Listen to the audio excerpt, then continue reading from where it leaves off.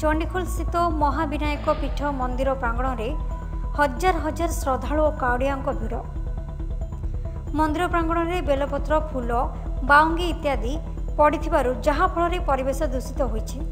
ଯାହାକୁ ନେଇ ପିସିସି ସମ୍ପାଦକ ତଥା ବଡ଼ଚଣା କଂଗ୍ରେସ ନେତା କ୍ୟାପ୍ଟେନ୍ ରାଜନାରାୟଣ ମହାପାତ୍ରଙ୍କ ନେତୃତ୍ୱରେ ଛାତ୍ର କଂଗ୍ରେସ କର୍ମକର୍ତ୍ତାମାନଙ୍କୁ ନେଇ ଦୀର୍ଘ ସମୟ ଧରି ସଫେଇ କାର୍ଯ୍ୟକ୍ରମ କରାଯାଇଥିଲା।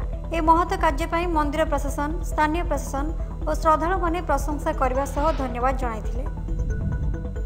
ସଫେଇ କାର୍ଯ୍ୟକ୍ରମରେ ବ୍ଲକ କଂଗ୍ରେସ ସଭାପତି ଉମେଶ ଚନ୍ଦ୍ର ଜେନା ଉପସଭାପତି ପ୍ରଦୀପ୍ତ କୁମାର ମହାନ୍ତି ବରଦା ପ୍ରସନ୍ନ ରାୟ ପ୍ରାକ୍ତନ ଯୁବ କଂଗ୍ରେସ ସଭାପତି ନିରଞ୍ଜନ ବିଶ୍ୱାଳ ଶ୍ରୀକାନ୍ତ ନାୟକଙ୍କ ସମେତ ଶତାଧିକ ଯୁବ ଓ ଛାତ୍ର କଂଗ୍ରେସ କର୍ମକର୍ତ୍ତାମାନେ ଯୋଗ ଦେଇଥିଲେ।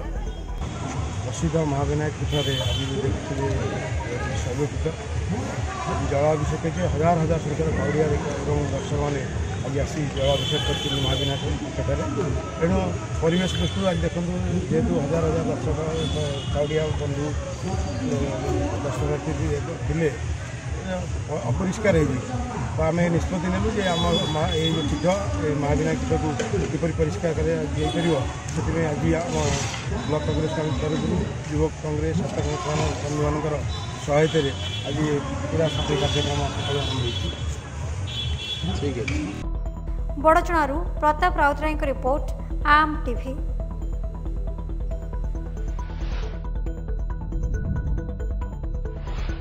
ଆପଣ ଦେଖୁଛନ୍ତି ଆମ୍ ଟିଭି